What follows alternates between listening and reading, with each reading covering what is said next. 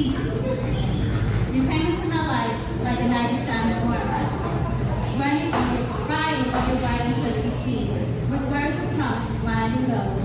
But that is not the way the story unfolds. You were disguised, a good one I must admit. You broke me and broke into my life and stole my heart. In such a hurry to leave, falling down the steps, you dropped. Dropped me. Leaving me to pick up the pieces. As I figure out where all where they all have fallen, I kneel in blood, scraping my knees on the glass, trying to put my fragile heart together.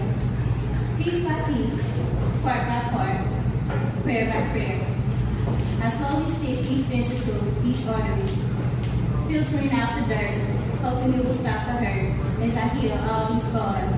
I removed your fingerprints, and I polished my soul. Yes, I still know where they are, but God has a better plan for me far. I will be okay.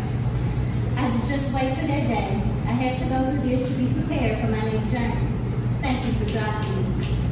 For this has made me a stronger person.